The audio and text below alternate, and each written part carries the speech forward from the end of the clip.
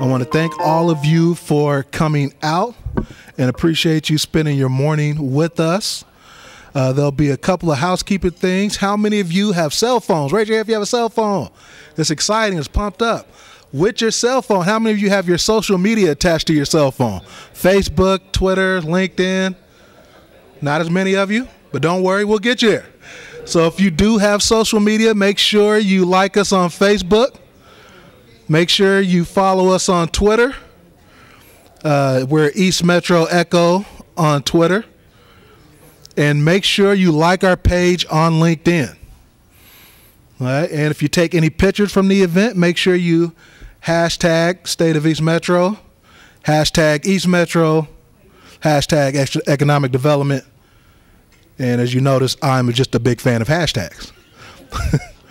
uh, Marianne is going to be passing out a couple of an item to you. This is our events for the uh, rest of the summer, and we are excited for the, those events.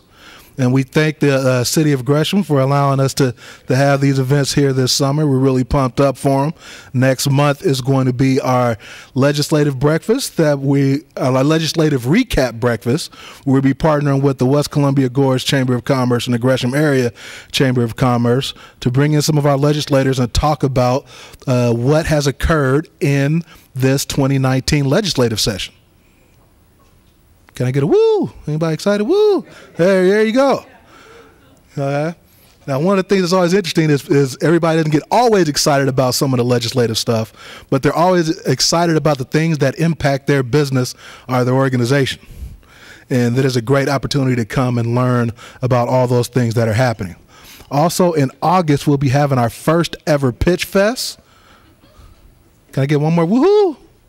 There, there we go. I got to get you excited in the morning. Right? Uh, we're gonna we want to encourage entrepreneurship in East Multnomah County, and uh, what better way to do that than have a pitch fest, an opportunity for both adult and youth uh, to uh, uh, have opportunity to pitch their business ideas, and the audience actually gets to decide who wins and who gets the money. And we're actually giving away cash money. So this is you remember that game show Win Ben Stein's Money? You get to win Jarvez's money. So come on out and see who, who gets the money and gets the investment, um, and see some of the great ideas, especially from the youth. Everybody loves the kids, and you'll be surprised some of the really cool ideas uh, that some of our youth entrepreneurs are working on out here in East County.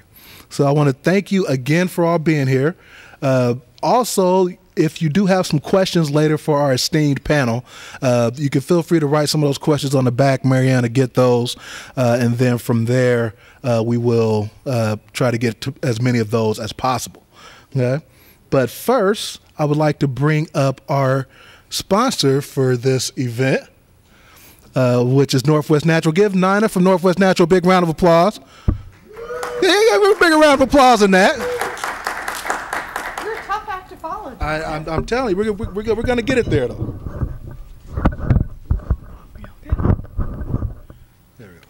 Well, he is a tough act to follow. I just wanted to say thank you guys very much for coming out today. We are really uh, pleased and proud to be able to sponsor this event today. We really believe in the future of East Metro and want to hear and support our communities out here. I don't want to take too long, but I just want to say thank you from your natural gas company. I want you to look at your June bills. You should be seeing about a $16 uh, dis- uh, rebate on them. So we are, after 160 years, still providing you natural gas affordably, efficiently.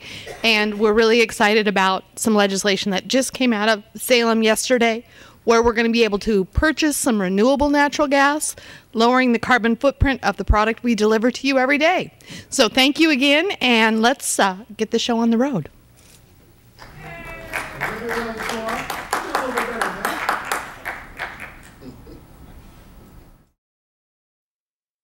Wood Village has got a wonderful, wonderful place. Uh, we are everything you ever wanted in one square mile. Inside that one square mile, we have 31 acres fully developed and ready to go under the ownership of the Grand Ronde tribes. Uh, it's called the Wood Village Town Center. There's already about 25 acres fully developed. That's Fred Meyer and Kohl's and so on. And then behind that, what used to be the Greyhound Park properties is another 31 acres ready to develop now. We get to meet with the economic development people from the Grand Ronde next week trying to remarket this property. And we're excited about the potential that the property has for this community and for the region. So it's kind of uncommon to have a city hall site for sale and then subsequently sold and redeveloped. However, this site is on five and a half acres of prime real estate, almost known as the 100% corner. So the city council, knowing that, knowing it's an asset for the community, said, hey, let's see if there's an interest in having that out on the market, generate some tax revenue, generate a benefit for the community that could last for generations. So they did. We got a wonderful partner in that development, Williams and Dame. They're building about 10,000 square feet of retail along the Halsey frontage here. Then the rest of the site will be programmed programmed towards fairly moderate multifamily units, about 170 or so units. So it's going to be a great project. About two years in the making. We're coming up right to the finish line now on the close and sale of that deal. So construction will begin. Well, it's beginning now some fill work and then real construction begins probably later this summer. So we're all really excited about it. It's also kind of been a catalyst site for some other works along Halsey, a 61 unit uh, multifamily complex that's pretty high end just to the east of here. Uh, a few more kind of mid-range units to the west of here. So a lot of stuff happening in Halsey and we're really excited about the project here. Since we sold City Hall, we need a new City Hall site. The council took a long look at where we could go, what could be a boon to the to the area. Council said, hey, why are we taking more land off the tax rolls? Let's go where we already own. That's our Donald Robertson Park. So at the front end of that, just to the south of, of the Halsey Street, basically will be our new City Halls, what's being programmed.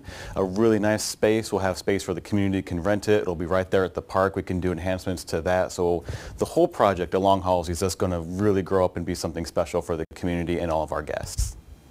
And Wood Village is open for business. Much of the work that we do in economic development for the city of Gresham is based on retention and recruitment, and that really places a heavy focus on real estate assets. Right now in the city of Gresham, we have 1.7 million square feet of speculative industrial space constructed ready for a tenant. Um, we're really excited about having that real estate available. Oftentimes when companies are looking to expand or relocate, they're looking for space that's available today. They don't have time to build a building on their own. So having that speculative space available gives us a lot of options when companies are looking. And it's really a busy time right now in terms of both expansion and recruitment. We are really excited about Element 6 joining the Gresham community. Uh, Element 6 is building a 60,000 square foot world-class manufacturing facility at the Gresham Vista Business Park on an 8-acre site. They are under construction now, which is really exciting. They hope to commission the building at the end of this summer. Uh, equipment process manufacturing, uh, placement of that equipment is going to take a little bit longer, so they won't be producing product until early next year, and they'll be employing about 60 people total investment's about 95 million at the project. So we're really, really excited about that. Another project we're really excited about here in Gresham is the Rockwood Rising project in the Urban Renewal District. Rockwood Rising is a mixed-use development that's going to focus on providing services to people of Rockwood. Nearly 50,000 square feet of the Rockwood Rising project is going to be focused on job and skill building and entrepreneurial development training for folks in Rockwood and Gresham. Some key tenants that are going to locate in Rockwood Rising include the Small Business Development Center with Mount Hood Community College, Metro East Community Media, and WorkSource Oregon. So a lot of service providers are going to be located right in the center of Rockwood Rising to make sure that residents get the services they need close to home. We're really excited to share that the Rockwood Rising project is going to break ground sometime this year with completion scheduled for 2021. Gresham is open for business.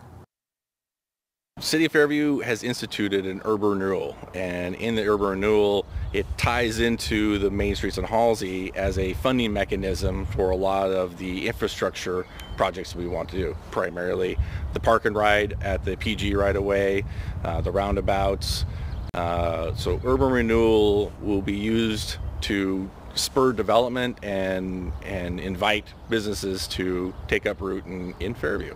Um, we're all pretty excited uh, about the list of projects that we're, we're putting on it.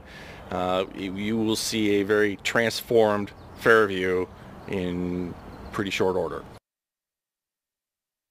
Main Streets on Halsey is a multi-jurisdictional program between between Metro, Fairview, Wood Village, and Troutdale with other community partners to revitalize the Halsey corridor from 207th all the way to the river. Um, it has started in 2016 and and we are getting pretty close to doing a lot of the remarkable things that we were been looking to do for the last three or four years. Uh, they're they're going to be roundabouts, structural changes to all of Halsey, all the way down. We're going to have a uniformed code uh, between all three cities and a uniformed look so that people in East County and people who visit East County will uh, enjoy the experience. A lot of people are really excited about a lot of things. Uh, again, you know, one of the one of the concepts that we're playing with is a roundabout on 207th and Fairview Parkway. Uh, it's a way to slow down the traffic, and we will also use it as a gateway to as an entrance into Fairview and into all of Halsey, really. Fairview is open for business. One of the you know best things about Troutdale is we have a quaint little downtown, and um, I believe that we're on the cusp of some much better things. Um, we have some new buildings going in. We had 10 new uh, townhomes slash condos put in downtown, and they're all they sold really quick. Um, but one thing I think is missing and that uh, the council and the city is going to start tackling is branding Troutdale. I'm not sure we've done a good job of that. In fact, I know we haven't done a good job of that. And so the next steps forward is to actually brand our downtown, brand Troutdale. Um, what I hear a lot in the in the metro area is Troutdale is a truck stop, an, uh, an outlet mall, and where they send the rookie news people when the weather's bad. So, um, but I will say most recently what I hear is, oh, that's where Sugar Pine Drive-In is, right? And so uh, it's funny how a business after eight months can be like defined as uh, Troutdale, right? We have uh, started the cleanup on our renewal to lay the infrastructure um, to get it ready for uh, sale, uh, make it uh, more shovel ready. And so we're in the process of that. Um, we've accomplished quite a bit. We're um, in the middle of tearing down the, the few remaining uh, buildings that were down there and I'm hoping to get that cleaned up and then up for sale um, in the next little bit. We're also will be starting on the waterfront park development down there and so we got plans in place for that also. So yeah, it's, it's going to be an exciting project. It's just, uh, it's a long time coming. Um, it's uh, had a rocky history, but I feel like we're on the right track right now. Troutdale is open for business.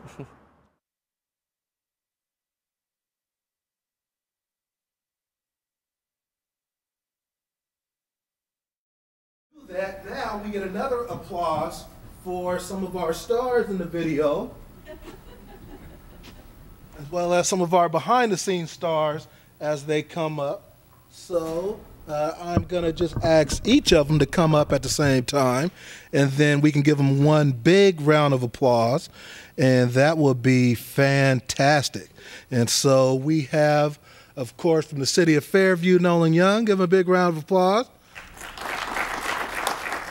The city of Gresham, Shannon Stadey. Give her a big round of applause The city of Troutdale, Ray Young. And from city of Wood Village, Bill Peterson. And so we're excited to have each one of them today. Uh, I thank each one of them who were uh, participatory in the video. Uh, some were uh, more participatory on camera, some were more participatory behind the scenes. So I appreciate each one of you being a part of that experience. And uh, we love that video. We wanted to make sure that everyone understands that uh, each of our cities are open for business. So if you have business and you want to conduct business, our cities are open for you to do that. Um, and we're also, I think Shannon and I both talked about who was first for the diamonds when they come out. I we're still we're still debating on who actually gets the first batch of diamonds uh, to test those out, but we're still working on that. So, uh, without further ado, I will pass it over to our stars. They're going to have a few minutes to do kind of a make kind of an opening statement or, or presentation to each of you, and then I'll be asking them some questions. Um, uh, once uh, each one of them conclude with their presentation. If you do have some questions, I would ask for you to write them down, especially as you uh, have them in your head, and then Marianne will come around and grab some of those, and we can try to get some of those answered for you as we move along. And remember, if you're taking any pictures, make sure you hashtag us, hashtag East Metro. Uh, we always like to make sure we uh, we tag folks and do all that stuff. So without further ado, I will pass it over to Nolan Young, City of Fairview. It's okay to give him a hand clap. You can give him a round of applause. It's all right. Thank you. I will go on this side, actually.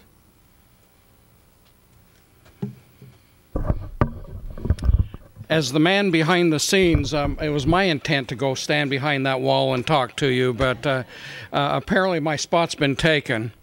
Uh, it's a pleasure to be here this morning to just uh, add to the things that uh, Mayor uh, Mayor Cooper said.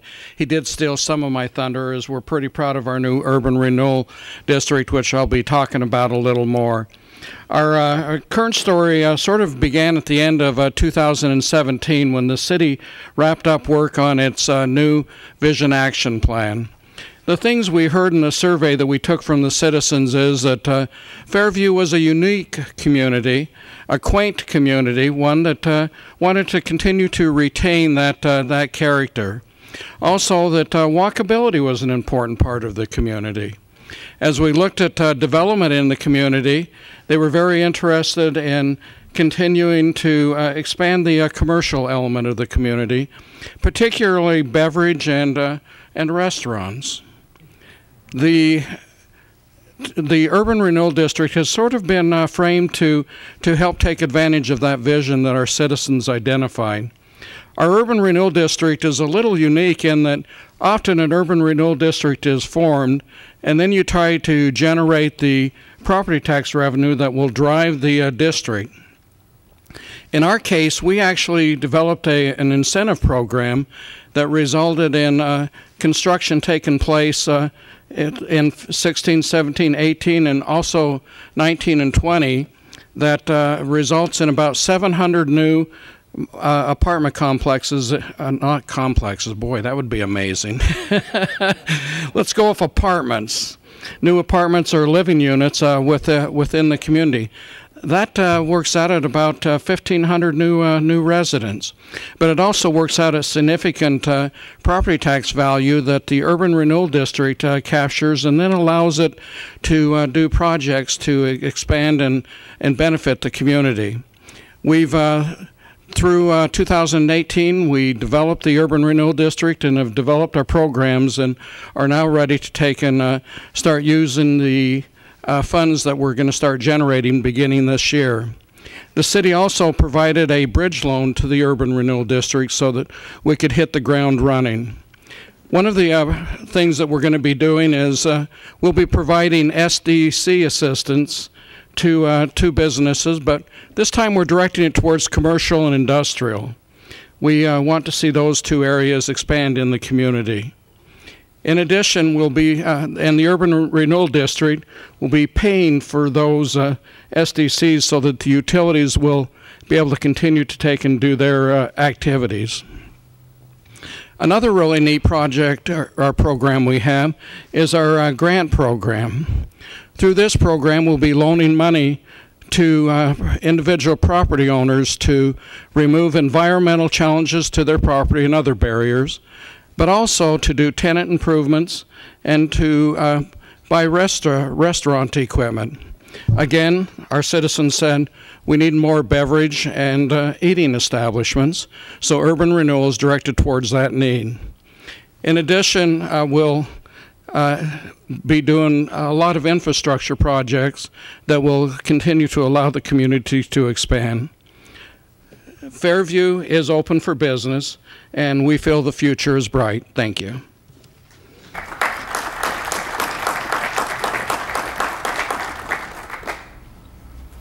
Well, They wanted more food and beverage because they wanted me to spend a little more time in Fairview. They knew that'd be a great way to get me there.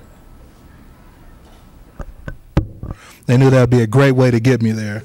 Uh, But don't worry, I'll still spend time there whether or not there's additional restaurants. And don't other cities feel feel bad. I'll still come to your restaurants and everything as well.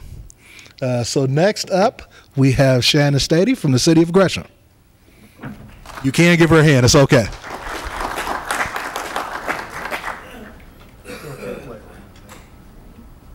Good morning, everybody. Can you hear me okay? So just to settle the feud, Jarvez and I are going to arm wrestle for the first diamonds. Might, might take some bids, could raise some money for charity. I don't know. Pay per view, right? Pay per view. Metro East Community Media. There we go. There we go. Well, thank you for the opportunity to speak this morning uh, about what's happening in the city of Gresham. Uh, I'm going to keep my remarks pretty short because I'd like to save some time for Q&A and hope to dive into some topics a little bit deeper. Uh, generally speaking, development in Gresham is booming right now. Uh, from new residential development, exciting mixed use projects being constructed in our civic neighborhood in downtown, uh, all the way to new construction and dirt turning on the Rockwood Rising project. I think that deserves a round of applause. We're under construction. And uh, near and dear to my heart, we have several industrial developments underway. We have about 1.7 million square feet. Bill, 1.7 million square feet. He was giving me a bad time earlier. Uh, of speculative industrial space already constructed, with probably about 700,000 square feet in addition to that under construction now. Uh, many of those projects are speculative, and are we're seeing some tenants sign leases in those spaces, but some of them are also built to suit for users, which we'll talk about in a little bit uh, detail. We also have some city projects in the works. Uh, you might have heard about our Hitting the Streets project, which is rebuilding about 25% of our transportation infrastructure, local streets in the city of Gresham within the next five years. Uh, we also are working with TriMet on the uh, Division Transit project, which will bring high speed bus line along Division using some federal funds, and some expansion at the Gradin Sports Park being progressive, as you heard in our video, is just part and parcel of what Gresham's focus on. And so, really, we are open for business. The city's 66 day industrial land use review process has been really successful. Our council and mayor were really aggressive and proactive in putting that code into place in 2014. And we've seen really good results from that uh, in terms of development and just using the tools that we have available to us programs like the garage to storefront program in our downtown and historic uh, civic neighborhood the enterprise zone opportunity zone which i think we'll talk about in a little bit and really utilizing the city's urban renewal programs has allowed gresham to take advantage of opportunities in a healthy development market and really use assets to further our city goals. And so i look forward to answering questions uh, and i'll turn it over to the next speaker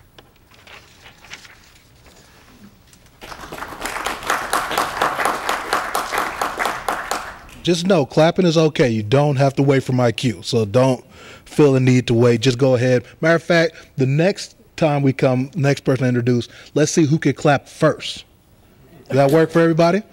Now, one thing Shannon didn't know is that when um, Willamette Week has the has a give guide that they do every year, and they did a arm wrestling competition uh, this past, uh, I believe it was October, and someone on the stage happened to make it all the way to the semifinals. So, just letting you know there is some competition here uh, when it comes to these uh, arm wrestling for these diamonds. Uh, so, without further ado, give a big round of applause for Ray Young, City of Troutdale. Excuse me. Excuse me. Well, thank you, Jarvez.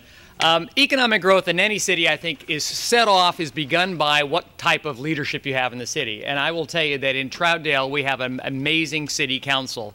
I won't go to the past, the things that have been said, you know, over the last decade about the Troutdale uh, City Council, but right now, as you saw, we have uh, Mayor Ryan, who's just a great leader and a very dynamic force in town. We've got a council that is just an amazing mix of experience and new blood. Um, five of our council members have only been elected officials for a little over two years. They're um, under 45. And then we have great experience on a couple of them who've been around for 10 to 20 years on council. And so that's where economic growth, I think, begins, is with our city council. I think they're bringing a great amount of uh, power to what we're doing out in Troutdale. Um, Troutdale really is at the beginning of a, what we believe is a long curve of growth um, out in East County. And I kind of break our development into four different areas. First of all, I want to talk about industrial, commercial and retail, housing, and livability. And I really can't see any clock this way, so if I go about a half an hour, Marty, will you throw something at me and let me know? All right. Well, first of all, industrial. Uh, we have really appreciated over the last decade the great partnership we have had with the Port of Portland. They have worked really closely with us to develop the old Reynolds aluminum site that's really turned into a, a model of great development of a former Superfund site. Um, and even after the 2.4 million Shannon, 2.4 million square feet of Amazon that opened a year and a half ago. We still have another speculative building. The Troutdale Cubes is going in right now, right across the street from Amazon, which is going to be about 450,000 square feet of uh, speculative um, industrial space. We're really excited about that one. The roof is going on right now. Um, we still have several lots in the industrial area that uh, Port of Portland's been working really hard on getting people to develop that. So we're really excited about what's going on there. And uh, the other nice thing about it, and if, if Representative Gorsek was here, I'd shout out to him.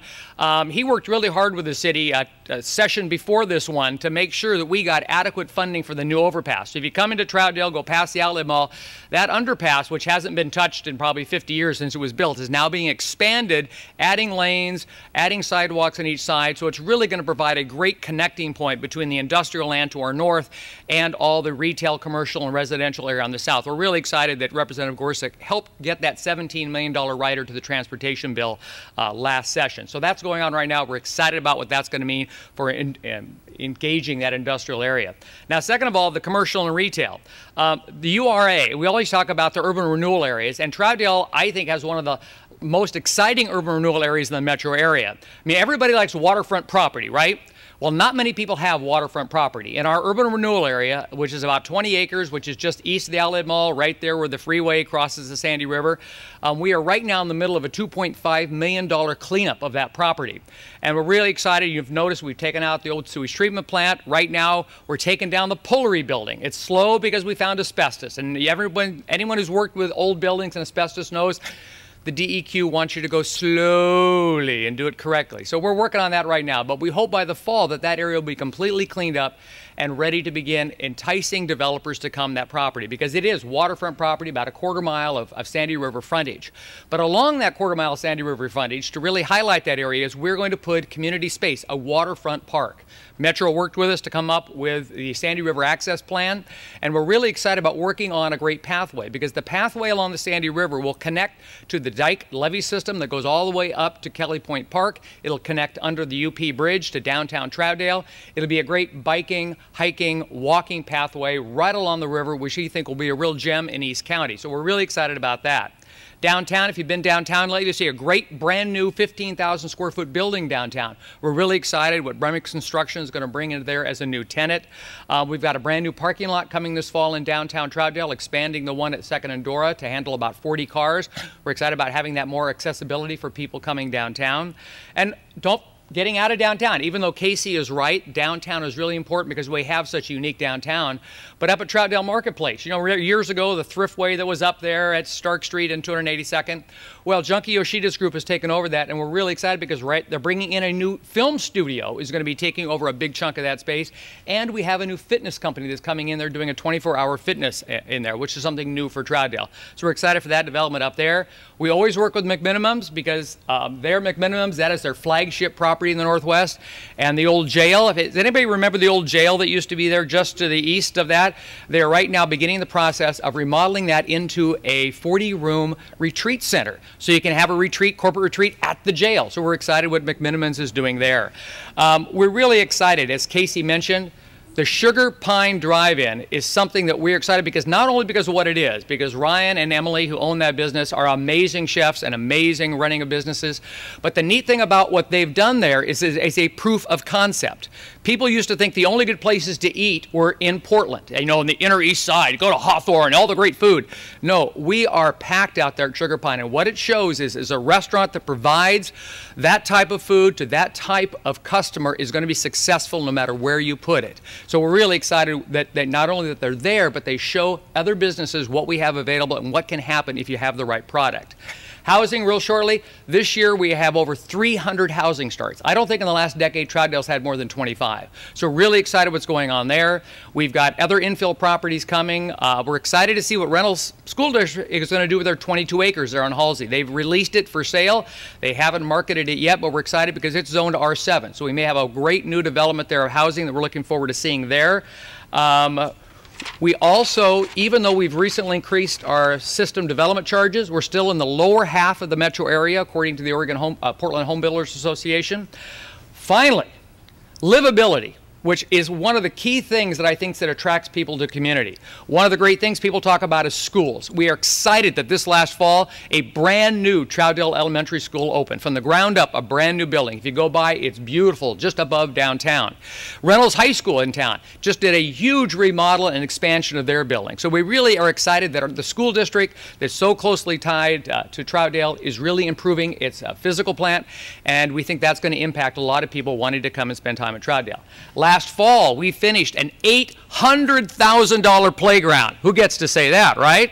Imagination Station was rebuilt into beautiful dimensions and a beautiful look right uh, just west of Reynolds High School. Love to have you take your kids, your grandchildren there. It's, it's just a really wonderful place uh, to come check out. Um, we uh, just the other night awarded two great grants to Solve and the River Watershed Group to continue the cleanup of the Sandy River and our neighborhood. So we're really caring about making a beautiful, pristine city in terms of cleanup. I just came back from New York City last weekend. Wonderful city. I love the city, but all my wife could keep commenting on, it's dirty around here. Don't people pick up their garbage? In Troutdale, we really care about that because that goes to livability and people want to come to a town that cares about what it looks like, and we think we've done that. So we're really excited in Troutdale about all the different areas that we're working on and expanding, and we have a great council to do that with. So if you're interested at all in whether it's a spec building out in the corporate center, looking for a new place for retail or a restaurant, and that's one last thing is that for the next year, we reduced up to 50% all of our restaurant SDCs for wastewater in the downtown core area because we really want to encourage that kind of service in downtown. So we're trying to make sure we incentivize that. And uh, Jarvez, there you go. Wake up. Uh, time for you to come back up. Thank you very much. Everybody trying to get all these restaurants. I'm trying to eat healthy, and y'all trying to put all these restaurants in to get me off my plan. But that's okay. I'm gonna stay on it. I'm gonna stay on it. Uh, let's give it up for Bill Peterson.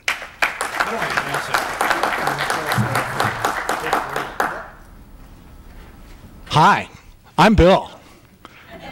Glad to see all you guys here. Isn't it exciting? Have you heard exciting enough times so far this morning? I, we're excited. It's excited to be excited. Um, Wood Village is also really a cool place. I mean, it's everything you ever wanted in one square mile. And no kidding, it really is everything you ever wanted. Whether you wanted a recreational vehicle or you wanted to go to Walmart, it's all inside one square mile. I mean, except we don't have a school. There's not a school in our one square mile. So you do have to go a little bit of distance to get to that great school district facility. So here's what Wood Village is about. Let's talk about our new development that's happening at our municipal building. Uh, you heard uh, you heard on our video that our old city hall site, about 5.7 acres, has now been purchased. In fact, we close on the 28th.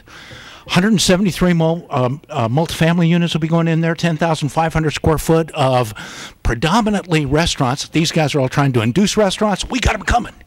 Uh, so they're going to be right there on the corner. See that great big tower?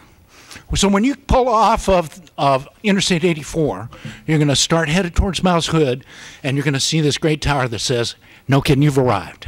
It's Wood Village. You're here. It's the right place.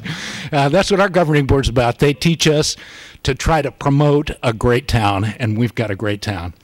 There's the multifamily design, then right down the street, 61 units, also with the same kind of high-end uh, development. Our population statistics, like Nolan mentioned, uh, when you br- bring this many units into a small community, you have some pretty interesting impacts. We have 45 single-family units that Lennar uh, constructed inside the last year. So they got approval, and then 45 units had occupancy. I mean, it was pretty startling. It's amazing how fast these guys can put uh, housing units into the marketplace. So those are all in place. Uh, then with this multifamily and the other stuff that's currently confirmed, we're looking at something around six, 700 folks that'll be uh, joining a community that's currently 3,900. So you're talking about a pretty serious and interesting uh, percentage increase in total population. And then add to that the Grand Ronde with 31 acres and their ability to have those acres developed. The other key thing that we've got happening that really is kind of a, a, a lot of fun um, is we've got some park system upgrades that we're going to be working on. Only, yeah, there they are. Um, and and you know the guys have talked a little bit about uh, some of the other features about livability that lets their community have some unique ability to um, to allow us to enjoy living and working in East County because uh, this is where we all want to live and work. So we're trying to do um, a combination of some wetland and, and a natural area park, uh, put together a, a, a, gorge hub entry uh, to our existing uh, park, and then uh, we will be adding our new municipal building at Donald Robertson Park, about 10,000 square foot. And as you can see, the, the city council has a vision of how Wood Village is going to look. You're going to see uh, that Pacific Northwest Lodge look. Um, it was created um, uh, with some development that had already occurred along uh, Halsey and with the Main Street on Halsey work throughout all of our communities. Uh, we've been able to find uh, excellent architectural model and we'll be moving uh, our community along with the other developments along this area uh, forward to give it a whole different kind of image. Uh, we're also then acquiring. Um, boy, this this thing's really a tricky little device. I mean, I'm sliding through these slides in a hurry. You guys don't have to wait long because this thing's going to be over. Um, we're we're acquiring 4.7 acres from the Grand Ronde uh, that we'll be using as a wetland park and uh, the tribes have indicated that they will be um, that they are amenable to the sale and they will be providing us with this area. So we'll be adding about five acres uh, to our parks facilities. Um, transportation is something that we all collectively uh, work hard to be able to be at the table um, you're, you're watching what's going on with Metro 2020 and their proposal to put those packages together. Uh, in Wood Village, we have been successful in redeveloping uh, pieces of Sandy Boulevard, working with our county. Uh, Arata Road, 238th Street builds um, next year and the year after. Um, combine that with Main Street on Halsey, and every single major roadway that transverses our community will have been rebuilt or reconstructed inside the last five years. So uh, we've got a pretty major um, transportational uh, undertaking. The enterprise zone, the urban renewal agency, the opportunity zone, all of those key um, those those key economic development pieces that you've heard from each one of our partner communities. Actually, I was I was making notes as I listened to our other partners present this morning. It's pretty amazing to recognize the depth and breadth of resource that's brought to the table by the four communities that you see in front of you today. Um, uh, Gresham's a pretty pretty serious sized community, and they got a wide range of of uh, tools and capacity.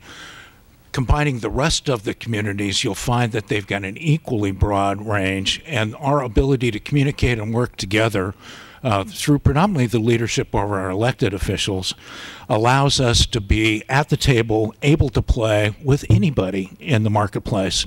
So East County has got a lot of tools, a lot of skills, and a lot of capability. Um, the final thing that I'd like to talk about for just a minute is what makes Wood Village as a local government so incredibly unique. And yeah, well, I'll be retiring in November, so that's good. Uh, that, that, was supposed to be funny. You guys missed that altogether. I was going to say that's what made us unique. No, no, that isn't. We we're a contract service delivery community. We've got 15.5 people that deliver all of our services on a full-time basis because we do almost everything by contract. We contract for police, we contract for fire, we contract for building services. We have a contract for planning, we have a contract for for our attorney services. We have a contract for recreational services. We have some other city take care of the baskets on the street. Do, if you can do it with a contract more cost effectively than you can do it yourself, that's how we do it. Um, so there, there's a little piece of unique about Wood Village, which is we get it done any way you can do it that's the most cost effective way and usually for us at least that's been contracting with others to get it done so with that i'll close and i'd be glad to also hang out and answer questions with this esteemed and august panel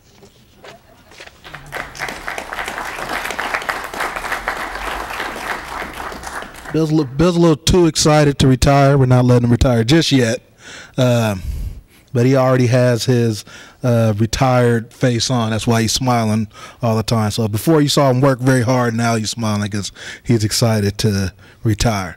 Uh, so uh, we're gonna start the kind of question and answer period. Um, you are welcome to use the microphones by there's a button that'll let you turn them on there so you don't have to uh, get up and run over here for every question uh, that we have.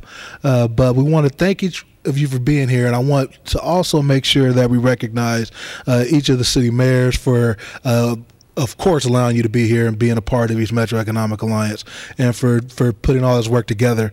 And I want all of you to understand as as much as uh, there was some kind of friendly banter, friendly kind of competition here uh, between the cities, it is really cool the work that each one of our cities are doing, and each city impacts the other. When they're doing cool things in Troutdale, that benefits Gresham. When they're doing cool things in Wood Village, that that benefits Fairview and we are all really one community, even though we do have uh, separate cities. So I want to make sure that we recognize that. So we will start off with the first question, uh, seeing that our legislative uh, recap breakfast is next month on July 18th, 7:30 a.m. right here at Gresham City Hall like that seamless plug in right there. You guys like that one? Um, is there any legislation uh, or potential legislation that is impacting economic development in your city? And whoever wants to uh, take it first is, is welcome to do so. Well, I, I, guess I'd like to start with a piece of legislation that would have created uh, the requirement for uh, prevailing wages to be paid in enterprise zones if enterprise zone benefits were provided to any property. Uh, we have multiple recipients for enterprise zone um, uh, benefits currently in our community. And if Davis Bacon would have been a requirement, I think, um, I think at least from our property development standpoint, we have learned that that increase in relative value of construction costs would have stopped that project entirely. They simply would not have done the project.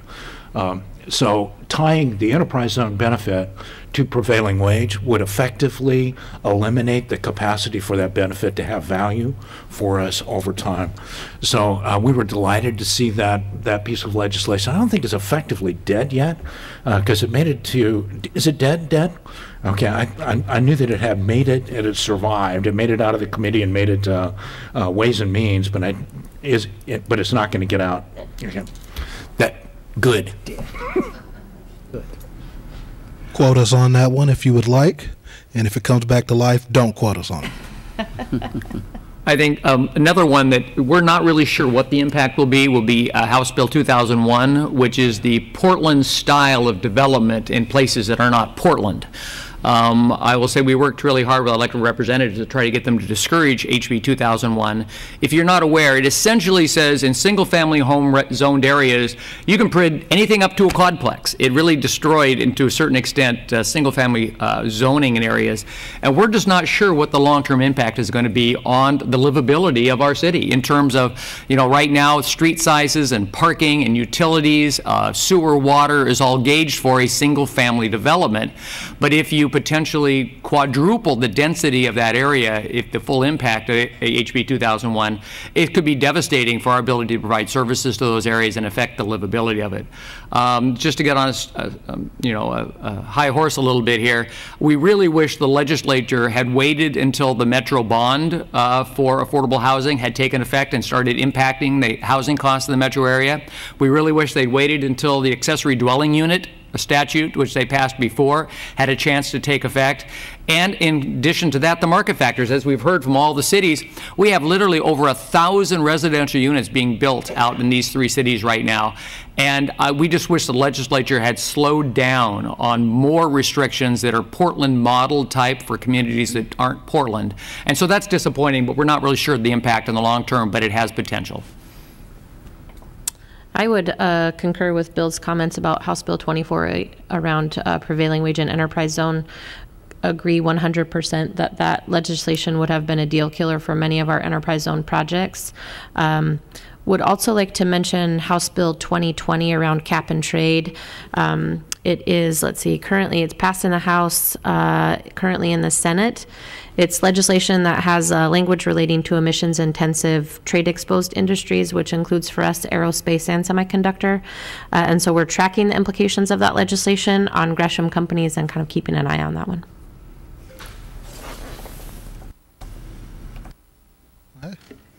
Nolan, any, any you want to chime in on? Since given the opportunity, uh, uh, Senate Bill uh, 441 uh, involves the uh, levee that protects major parts of our community along the, both the Sandy and the Columbia rivers. Um, due to other disasters in, the country, the Corps of Engineers and FEMA decided that we needed to recertify that that levee. the area protected by that levee includes about 48,000 jobs that uh, affect uh, our communities. Uh, the 441 uh, allows for a new entity to combine four flood control districts into a, uh, a single entity that will uh, both solve the uh, recertification of the uh, levee as well as to take and operate and maintain those levees for years to come in the uh, future. Uh, I think uh, there's a hope that uh, that'll be approved this this week or next week, and then that that new entity will begin to address the the concerns that could indeed affect business in our area. Thank you very much. There's a lot of things happening towards the end of the session right now, so please be on the lookout for, for some of those things. And I want to just, just thank all those on the EME Legislative Committee. Uh, we have Nina here, we have Sue here, Dean's here as well, and appreciate all of your your work uh, during during this time. And a lot of the legislation that was brought up, EME has taken positions on. Our road and letters are submitted testimony, so we appreciate our cities being involved in that process because things that happen in Salem do impact our region and impact our organizations and businesses. Uh, moving on, how is urban renewal impacting your city? Some of you talk a little bit uh, about it, but uh, feel free to talk a little bit more about it if you would like. For Troutdale, I'll start with, I mean, for 20 years, we have had an ugly ex sewage treatment plant pretty much right in the middle of the city, right at our doorway right at the freeway, right at the Sandy River, and we are finally, after 20 years, cleaning up the property, getting ready to put a trail in there, and I think it's going to be an amazing development right on the waterfront. I mean, you hear about the Willamette Falls development in Oregon City, but other than that one, there's no almost shovel-ready developments on waterfront property with easy access to an interstate freeway than we have in Troutdale. So we're excited to see what that's going to bring in the next couple years as we get it ready for development. So having the ability uh, for the urban renewal, um, tax incremental financing, the ability to provide services there, we're really excited about what it's going to do for Troutdale. The beauty about uh, urban renewal is uh, it um, it creates value that in return uh, can be uh, captured to allow for additional development to take place, or even to take and pay off uh, for infrastructure and other development that takes place uh, prior to that development. As I'd mentioned in Fairview we had uh, taken a, a, leap of faith and had uh, taken on the uh, responsibility of incentivizing development in the community. Uh, by uh, creating an urban renewal district, we're able to take and utilize the value that has been created by that uh, leap of faith in the community to take and directly now uh, focus on specific development that we want in the community. Urban renewal is a financing tool. It's a great financing tool because your uh, citizens and local officials can identify what specific areas you want to focus on, and then you can use this financing tool to then specifically address those uh, needs and create the type of uh, development you desire. Um, I think uh, my colleagues up here have talked quite a bit about um, sort of residential mixed use components as part of urban renewal projects. Uh, I mentioned Rockwood Rising is under construction, and the city is really excited about what that will bring to Rockwood and to Gresham proper. But I'd also like to touch on sort of an industrial traded sector component of our urban renewal district. Nolan mentioned some programs within urban renewal from financing. The city of Gresham has had a couple of industrial grant programs available that have really helped industrial development development in the city of Gresham. We had a pre-development services grant program which really helped sites uh, tackle big, expensive issues like wetland mitigation. Uh, Blue Lake Corporate Park was a beneficiary of that uh, pre-development services grant. We also have a program called New Industries Grant, which also reimburses companies who are expanding, adding machinery and equipment, or building a new facility. And so that is really um, intrinsically tied to job creation in the city. Wood Village has just completed an amendment to the Urban Renewal Agency. Unlike, unlike what had occurred in Fairview, we formed our Urban Renewal District in 2010. And if y'all remember, 2010 was kind of not exactly the peak of development potential uh, in a community. Our, our incremental value in urban renewal actually declined for three consecutive years. And urban renewal only works when you have the ability to tax an increment. So if you got a negative amount, that's not a good return. so, so finally, we've got some return coming back to our to our uh, agency, and we are now structuring incentive programs where we can provide a direct incentive, predominantly to job creating capacities, uh, and to other kinds of industries that pays for system development charges, parts of building charges, and so on. We've also done some utility relocation to enable development and so on. Urban renewal is a great tool, uh, and it, and I think it's going to be a part of all four of our communities, and we can bring it to bear uh, in any of these communities to try to assist with future development. And a quick follow up to that, some of you have already talked about uh, some of your incentives, uh, but how have, have, have some of your incentive programs uh, that you have been working, and are there any that are on the horizon that you uh, that you guys may have planned or that you may be willing to announce here in front of the world? And Um, I, I, mentioned uh, several programs that the city uses. Enterprise Zone has been critical to traded sector development in our community. We've had a lot of success with the program. It's been in place since 2006. We've renewed our zone once through the state statute requirements. Um, and it has been a really critical tool, um, not only for recruitment. We, you know, you've all heard about Element Six and the Subaru facility constructed at Gresham Vista, but it's been more of a critical tool for expansions of companies already already located in our city.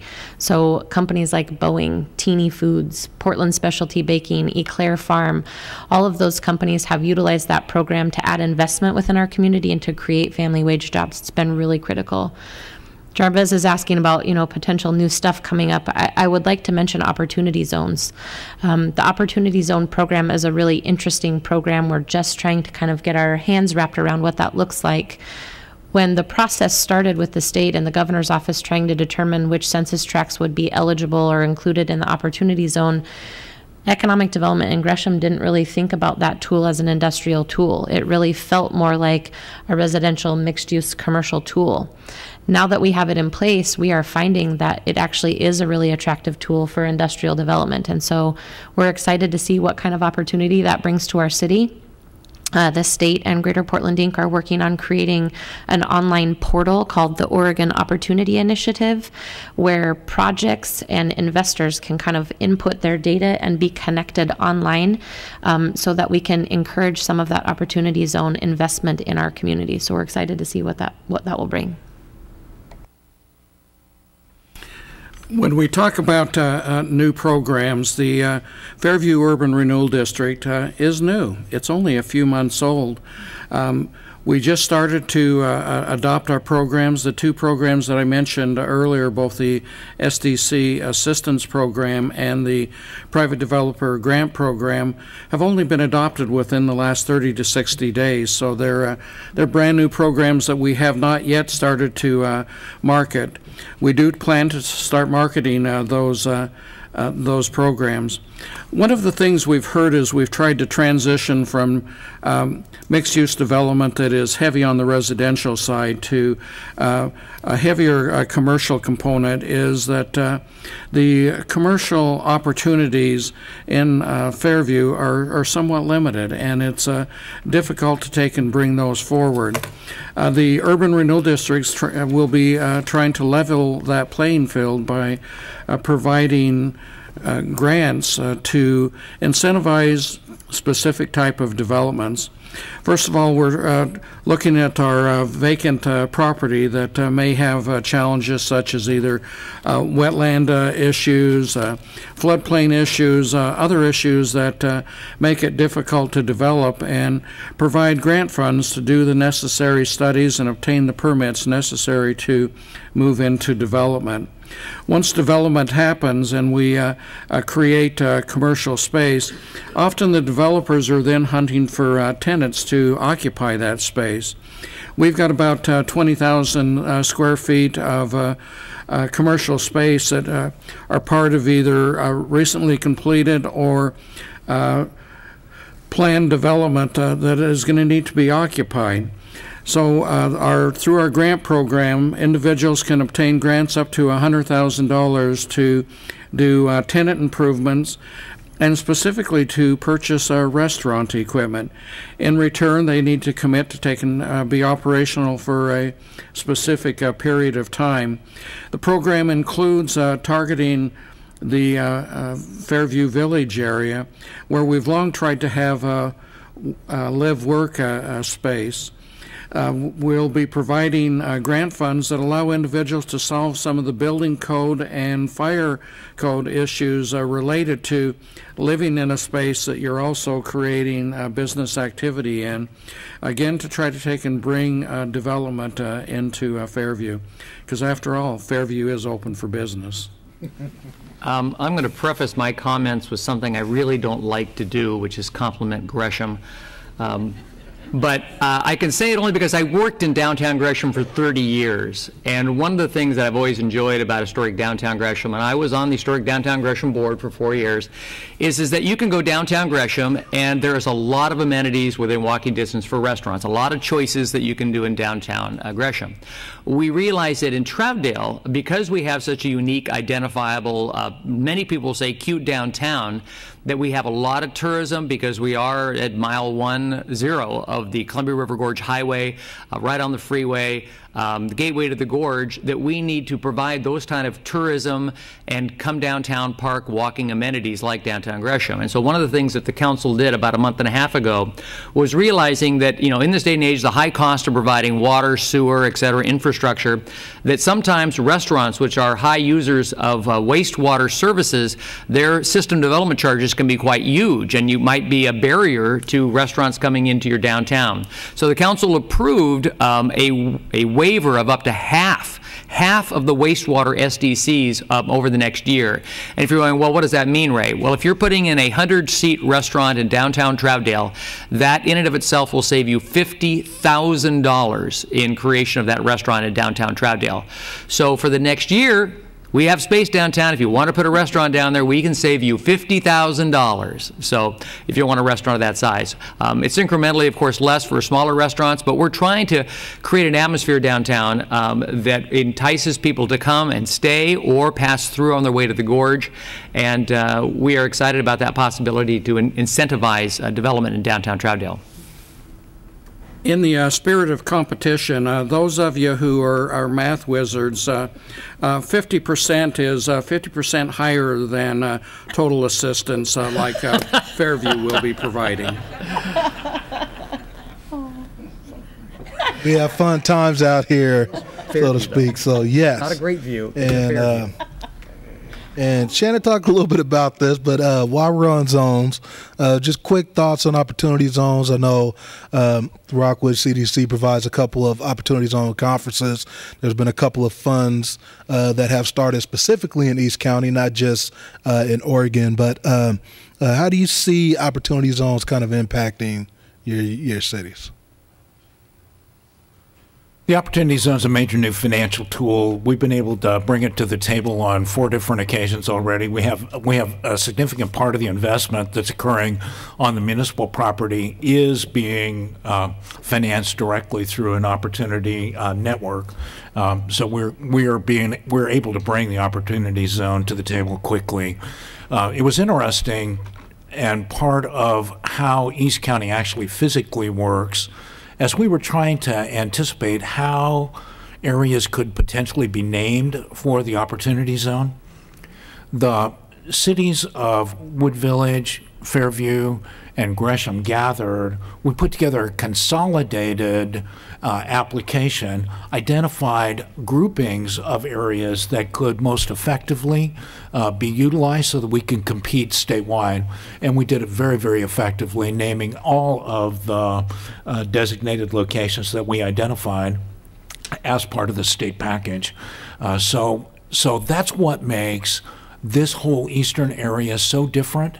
Uh, we compete, and and I, I've been very careful about not saying anything bad about Nolan's giveaway of system development charges. Now, I happen to live in Fairview, and what that really means is my utility rates are higher so that he can give these guys stuff. That's what it means. Okay, I haven't said anything uh, because I want to be supportive of how our communities work. And, but the Opportunity Zone really is a magnificent tool that is bringing millions of dollars to our table uh, for the first time. I have to respond to that. Uh, sorry. Um, uh, because of our urban renewal, what uh, Bill has identified as a giveaway actually has turned out to be. Uh, uh, has turned out to be something that really has incentivized uh, um, opportunities in Fairview. And so, as I've said, if I've said it once, I've said it a million times. Fairview is open for business. Well, on that note, uh, I would like to make a shameless plug for the Oregon Opportunity Initiative portal. So, if anybody out there in the audience has a project that is in need of financing, gap financing, that tool is going to be really useful for you. You can plug in a minimum amount of details on your project. There's a gentleman working on behalf of Greater Portland Inc. and the Economic Development District in this region. His name is Stephen Brooks. I'd be happy to connect you directly with him. He's vetting all of those projects for funds that are already put together, not just local funds like Rockwood CDC Fund, but national funds, trying to connect those projects with Opportunity Zone funding. So if you need any additional information, please don't hesitate to reach out uh, directly to me. I'd be happy to connect you with that. I want to uh, add something here that maybe you've seen going on up here, which is the banter back and forth between the four cities. But I want you to understand, for economic development reasons, you need to realize that the four cities work together really, really well. We have a great deal of respect for uh, the people who work for each city. We have a great deal of respect for the council and the mayors of each city. And uh, we really enjoy working um, all four cities together. And it's been a great partnership over the years, and we see that continuing. Now, since I did coin the open for business phrase, I will be charging Nolan a nominal fee every time he uses it uh, today at one of our events. So, uh, uh, expect uh, Marianne will be sending that invoice here a little shortly once we get the final tally uh, at the end of the event. Uh, okay. Um, what are some transportation issues that may be affecting your city or impacting economic development in your city? Well, for Troutdale, as I mentioned earlier, we are really excited about the new uh, overpass that's going there right on 257th. Um, we're also excited, again, we partner with Multnomah County and partnering with other cities, and what we're doing on 238th, the county is expanding the sidewalks and redoing that all the way down the hill. Right now, Multnomah County is working on Cochran Road, which is the kind of the border between uh, Troutdale and Gresham, and improving that. And we're excited down the road that hopefully we'll work on the other uh, choke point on Troutdale Road where Beaver Creek goes underneath. But there are several projects that we're really working on that we hope will expand and make it easier for people to get through. The other transportation issue which we're excited about is that TriMet has been very open to working with us to expand their routes. Uh, one of the concerns that we have, we have a large apartment complex at 242nd Cherry Park going in, right across the street from Subaru and the Gresham Vista Park, which is a great location for an apartment complex, but tri uh, TriMet has no bus lines that go to that corner. But they've said they have it on their radar screen in the future. They're going to accelerate that, so we hope to get that uh, last missing piece between Gresham and Troutdale for mass transit going there too. So we, are encouraged that the partners are working well in the, in the community to be able to get better transportation opportunities improving what we have. Yeah, I would just build on what uh, Ray said. That connection with TriMet uh, and having all of the partners you see up here at the table um, working on behalf of not only residential mixed use development, but traded sector companies who also need that bus service. Subaru, uh, companies that are looking at Gresham Vista has been really key and critical for our successes. And so we'll continue to do that and to continue to work together to try and make sure that we have adequate service to all of our um, key locations within our cities.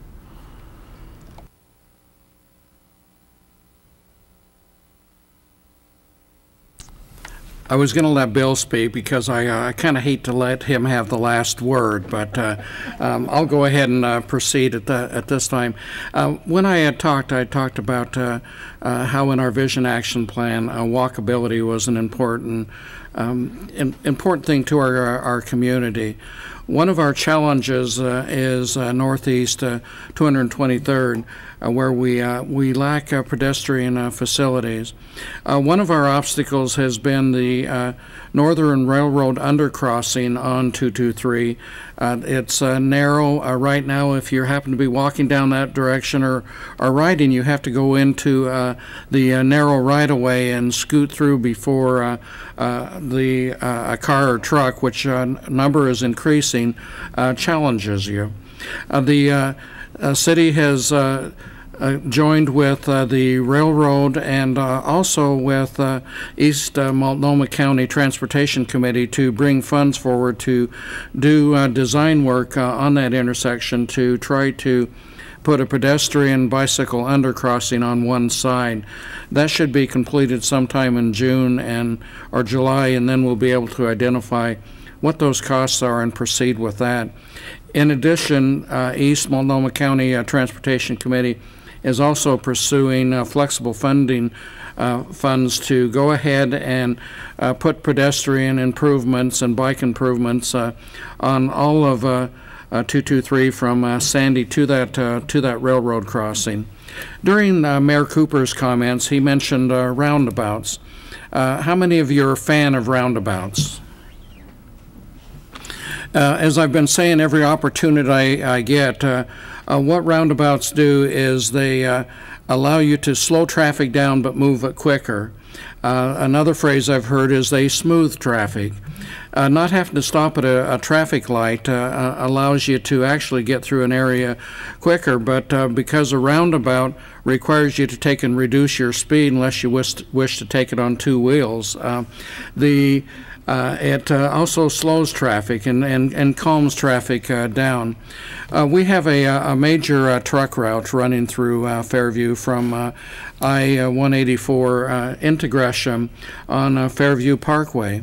It gets a lot of traffic, over 20,000 cars a day, and as a it's a, a fairly fairly quick traffic, but I drive that two times a day, and often I sit at the intersection and, uh, and sit at the intersection and sit at the intersection.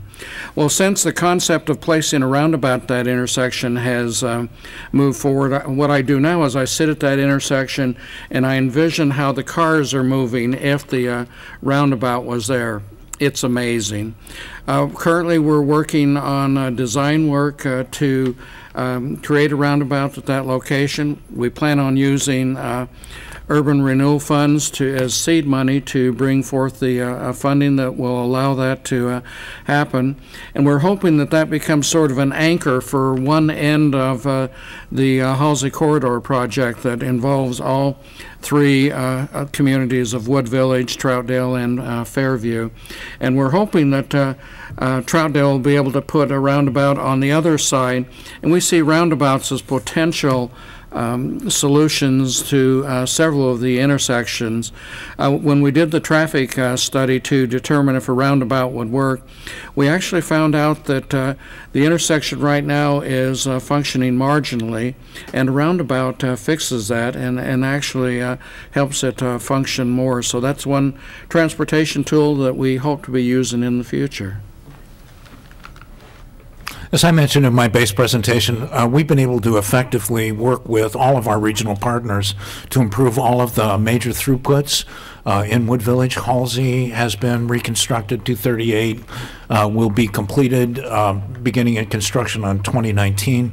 Arata Road through the core of our community. Uh, Glisan is being reconstructed and overlaid. Uh, Gresham's doing a piece of that. Uh, this summer, the county has on their radar for 2020. Sandy Boulevard and its completion uh, will then add that southern leg. Those are the transportation pieces that are internal to our community. Then we worry a lot about that last mile that gets you into the trip area, uh, particularly uh, into the industrial areas in Fairview, where we have so many jobs and so many folks that uh, could potentially use other methods of transportation and do not have viable options or alternatives. Um, so we worry about that a lot, and then we're, we're concerned about how the whole regional transportation network really functions over time.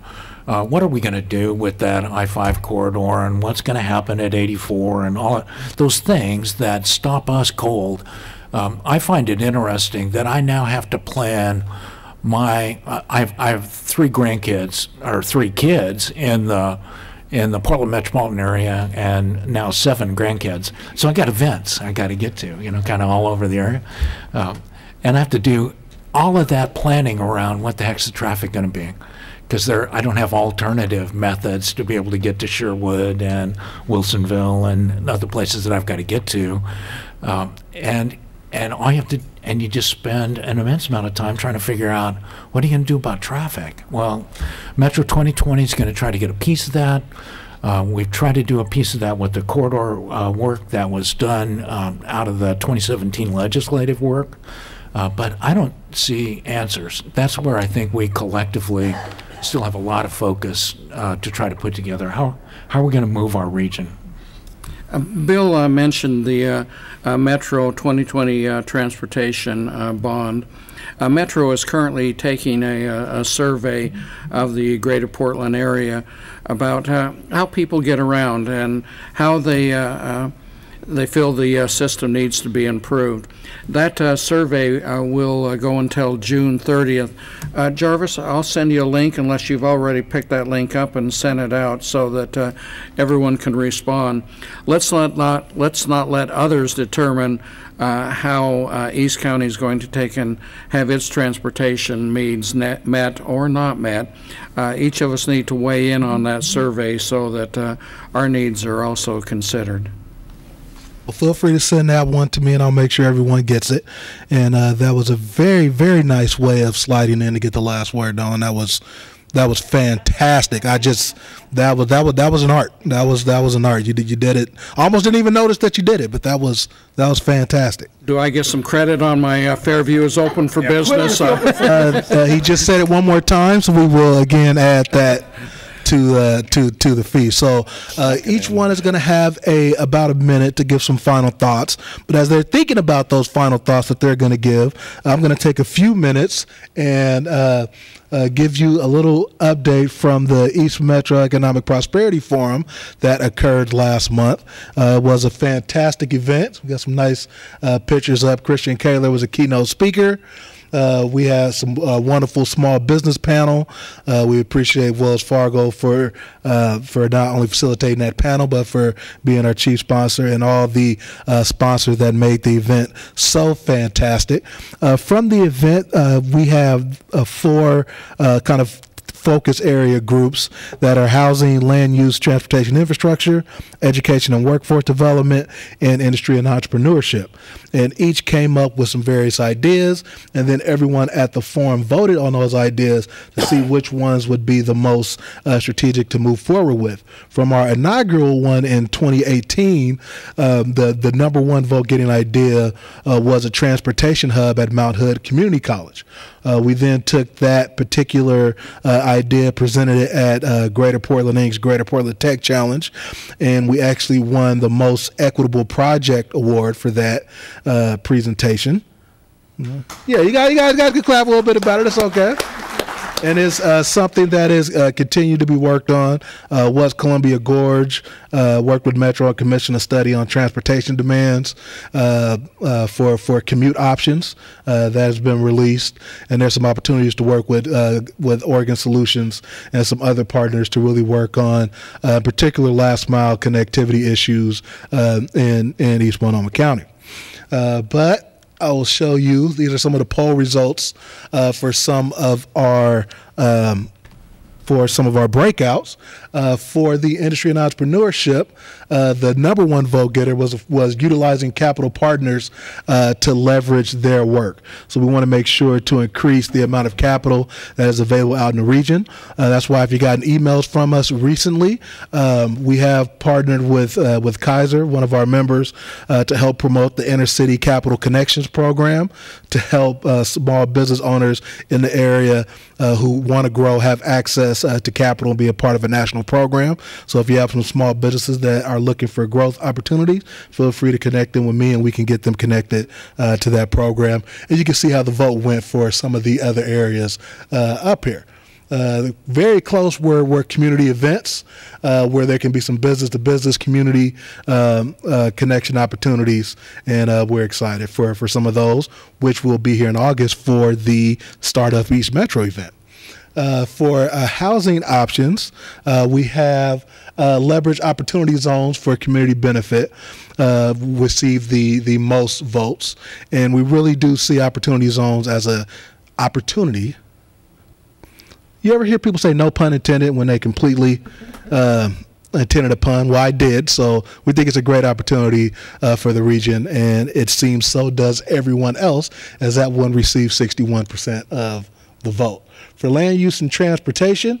Uh, looked at transport, uh, transit-oriented development, uh, main streets of Halsey, uh, things that connect uh, Clackamas County uh, to to our area as well as well as Columbia County, and connecting our region to the other counties and other opportunities in the area.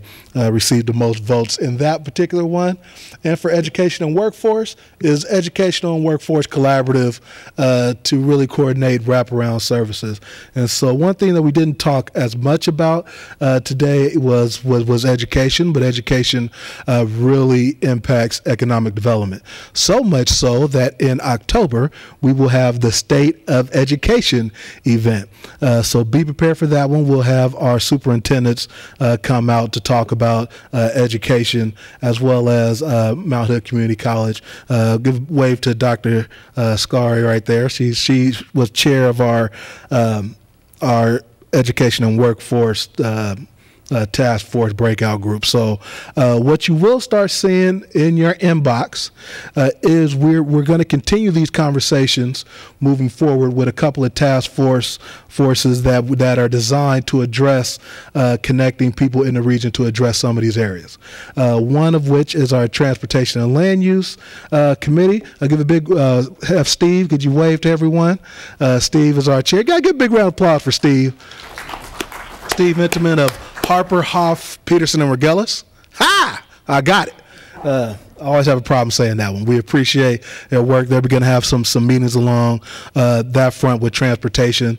Uh, so please see uh, some of those, and they'll be able to. Uh, those some of those will be online meetings, so you don't have to worry about transportation uh, getting to the meeting. You could just click right from your desk or even from your cell phone which I know almost all of you have because half of you are looking at them. So, uh, so I know you have a cell phone, you have a smartphone, you'll be able to connect on those, and you'll be seeing those. Those start next month.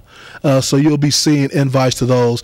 If there's a particular committee you would like to be a part of, whether it's housing, land use and transportation, education and workforce, industry and entrepreneurship, or if you want to come hang out on the legislative committee, even though it's uh, towards the end of a session, uh, you can see me. You can see Marianne. She has uh, some of my cards. Please feel free to take one. Shoot me an email. We'll make sure you're on that uh, particular list. So now uh, I'm going to turn it over and ask each of our cities to kind of give their uh, closing arguments. And if you want to use Open for Business, we'll uh, we'll, we'll, we'll throw in a free one for you uh, for, for for this for this last round. So I'll turn it over. And Ray, you want to start since you're closest to me? Great. The only thing I want to say is that we will soon have 16 acres of prime retail commercial residential space, waterfront property uh, available for development. So if anybody has any ideas or anybody might be interested in talking to us about developing the urban renewal area, uh, we're really excited about that. So that's the only pitch I want to put in before I pass it off. I'd just like to say thank you uh, for everybody coming out this morning, uh, for your engagement in the region and the work that we do. Um, as it's been mentioned up here, uh, these four cities really work together in a pretty unique way. Um, I've done economic development in a lot of different places, and you don't always get the benefit of having partners at the table, um, even with a little jousting and ribbing, um, but that's what makes it fun. So thanks, everybody. Have a good day. I'd like to add to the comment of uh, the partnership that uh, these four cities have. Uh, we're constantly looking for opportunities to partner together to not only better provide economically uh, services uh, to our citizens, but also to increase the uh, quality of life and economic development. Bill listed all the contracts he had what Bill was really listing is all the partnerships we have. We're always looking for partnerships to move things uh, forward. And with that in mind, uh, Fairview, Troutdale, Gresham, and Wood Village are open for business. You spoke on my behalf. Thank you all for being here.